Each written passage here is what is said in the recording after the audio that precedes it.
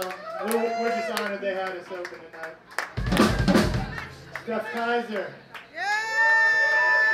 Jason Hayes on drums. Dave Salvo on guitar. He's playing here next Friday, too.